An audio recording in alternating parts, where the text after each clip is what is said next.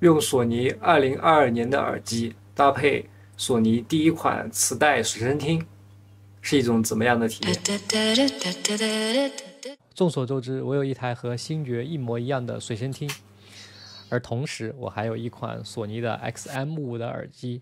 在听歌时，我有了这样的想法：如果将它们两个组合在一块儿听音乐，是一种什么样的体验？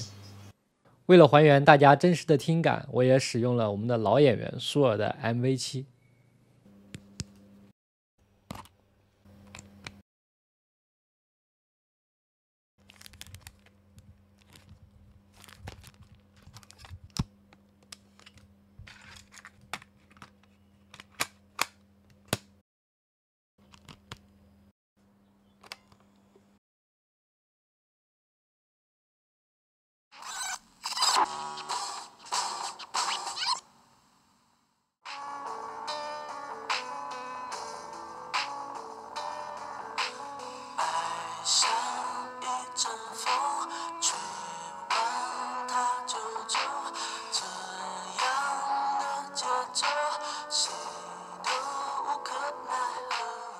大家觉得怎么样呢？我感觉有了一种特殊的音乐体验。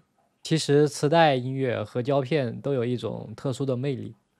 在体验了复古和现代的碰撞之后，我又有了一个新的疑问：为什么现在磁带又被大家关注起来？作为一个九零后，其实我是体验过磁带的那种感觉的。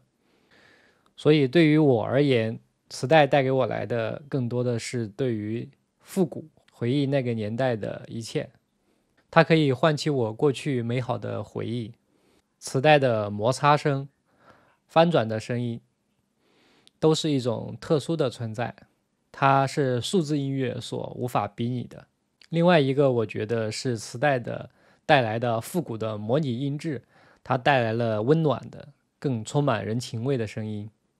还有，我了解不少的人喜欢磁带的音乐，是因为收藏。因为在我们那个年代，比如说周杰伦，他的音乐是通过磁带在我们之间传播的，他的歌曲是和我们的青春记忆绑定在一起的。所以，喜欢磁带音乐，喜欢收藏周杰伦的磁带，这其实是一种对自己青春的回忆。